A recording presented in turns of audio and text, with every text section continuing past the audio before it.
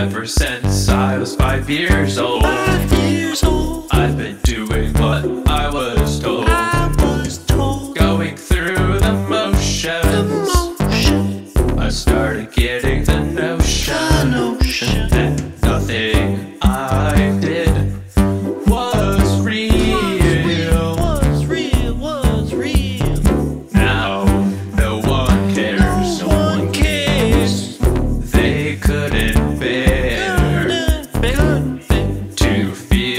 stay